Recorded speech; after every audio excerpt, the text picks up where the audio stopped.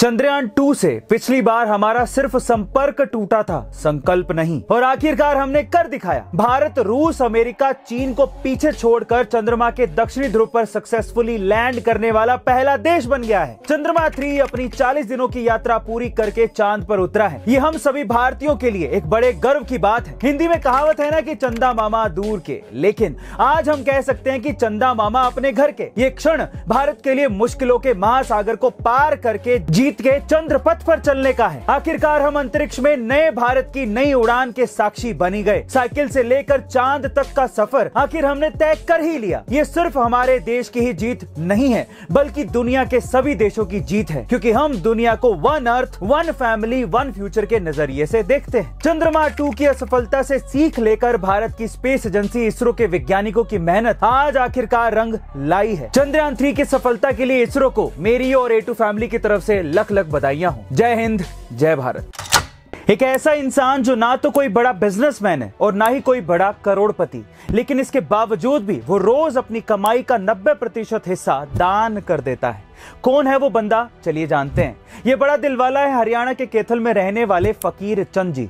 इनका नाम भले ही फकीर चंद है, लेकिन दिल के बहुत बड़े अमीर है। तिरपन साल के फकीर चंद जी कबाड़ी का काम करते हुए एक दिन में आठ सौ रुपए कमा लेते हैं, जिसमें से एक सौ पचास रुपए वो अपने खर्चे के लिए रख के बाकी के पैसे ये अलग अलग सेवा के कामों में दान कर देते हैं। आपको ये जानकर हैरानी होगी कि साधारण जीवन जीने वाले फकीर चंद जी को विरासत में ग्यारह लाख रुपए मिले थे। और जब उनके भाइयों की मृत्यु हुई तो उनके भी चौबीस लाख रुपए फकीर चंद जी को ही मिले थे।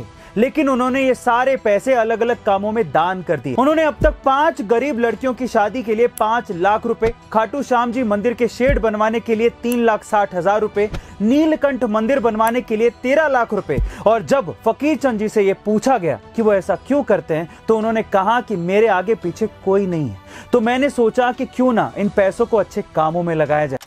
दुनिया के सबसे अमीर क्रिकेटरों में शुमार विराट कोहली को पूरी दुनिया जानती है। लेकिन क्या आपको विराट कोहली के भाई के बारे में पता है? आइए आज उनके भाई के बारे में हम आपको बताते हैं। दरअसल विराट कोहली के भाई का नाम है विकास कोहली, जो विराट कोहली के जैसे ही करोड़ों के मालिक, विराट कोहली के पढ़ाई से लेकर उनके क्रिकेट अकेडमी में दाखिला कराने से लेकर पूरा रोल विकास ने बखूबी निभाया था। छोटी सी उम्र में जब उनके पिता की मृत्यु हो गई थी तो उस समय विकास ही विराट के साथ डटकर खड़े हुए थे। साथ ही विकास मैनेजर के तौर पर विराट का करोड़ों का बिज़नेस भी संभालते हैं। इसके अलावा विकास खुद one eight restro chain brand के मालिक हैं। इसके साथ ही विकास प्रॉपर्टी इन्वेस्टमेंट भी करते हैं और उनकी 100 करोड़ से भी ज़्यादा की नेट वर्थ है। क्या इसके पहले तक विकास कोहली के बारे में आप जानते थे? और अगर नहीं तो कमेंट सेक्शन में ज़रूर लिखिएगा। जब मात्र 300 स्पार्टन्स जेरेक्सिस की विशाल सेना के सामने लड़ने के लिए जा रहे थे तो रस्ते में आर्केडियंस मिल गए।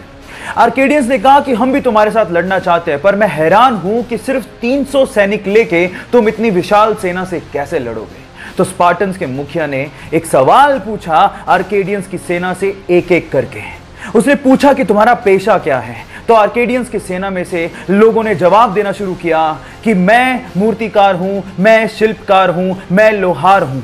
फिर स्पार्टन्स के मुखिया ने अपनी सेना से सवाल पूछा कि तुम्हारा पेशा क्या है? तो उन सबने जवाब दिया, खून खून खून। सबक यह है कि जंगें सैनिकों से नहीं, हौसलों से जीती जाती हैं।